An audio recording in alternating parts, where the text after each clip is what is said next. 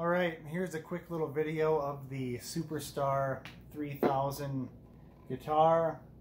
Toy guitar made by Castle Toy in Hong Kong, 1978.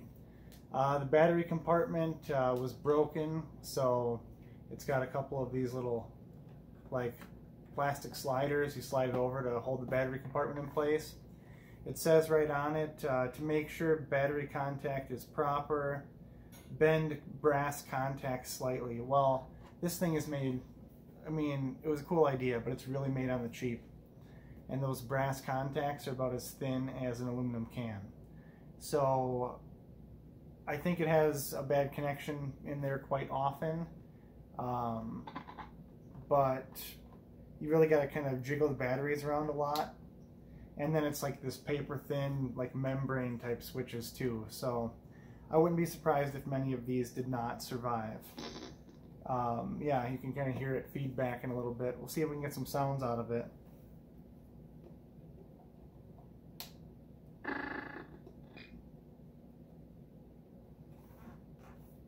And sometimes I have to move the batteries around a little bit.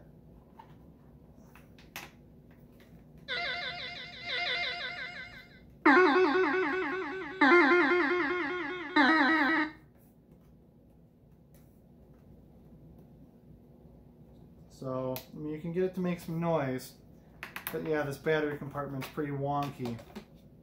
And I think that these newer C batteries are a hair smaller than the ones were in the 70s too, which might be part of the problem. Because it just seems like, even though it's made for C, is the battery compartment is just a hair too big.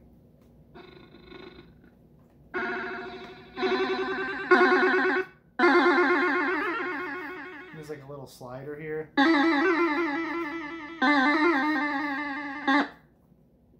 But, um, yeah, so uh, might be a cool circuit bend project. Um, it's got auto and PB, whatever that is, record, free, octave low, and octave high. Um, the headstock kind of unsnaps so it would fit in the box because even the box is too small for it but depending on the, the voltage or whatever is kind of making a bad contact.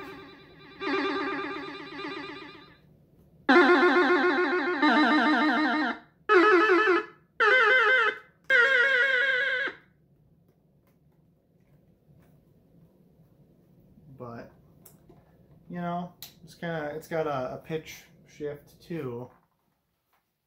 So, but yeah, kind of a hokey old toy, but I can't imagine there's a lot of them left. So I'm throwing it on eBay and I am making this little video in case anybody is nostalgic for it. The famous 20th century radio personality um, Wolfman Jack is featured on the box on some of them. I guess he was promoting this as kind of a, an item too. They had him be a spokesperson for it. But anyway, Superstar 3000 Castle Toys uh, is what it is. And rock on.